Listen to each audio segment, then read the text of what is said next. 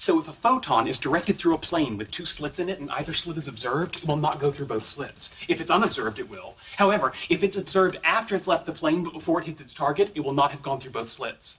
Agreed. What's your point? There's no point. I just think it's a good idea for a t-shirt.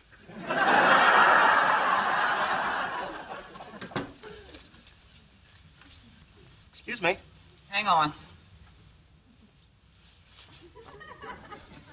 Uh, one across is Aegean, eight down is Nabokov, 26 across is MCM, 14 down is, move your finger, Phylum, which makes 14 across Port-au-Prince. See, Papa Doc's capital idea. That's Port-au-Prince. Haiti. Can I help you? Yes. Um, is this the high IQ sperm bank?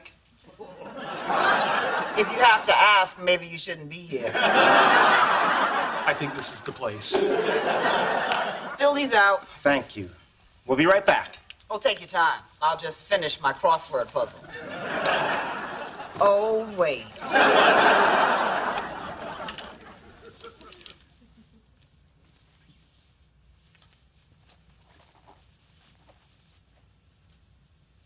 Leonard, I don't think I can do this.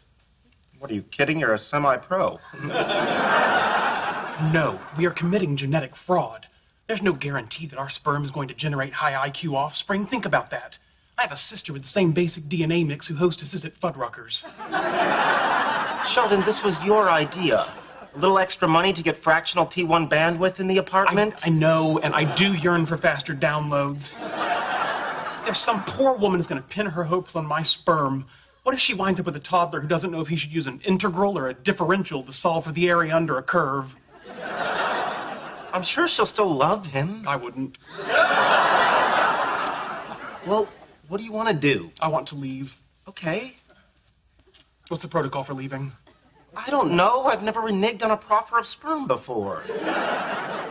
Let's try just walking out. Okay.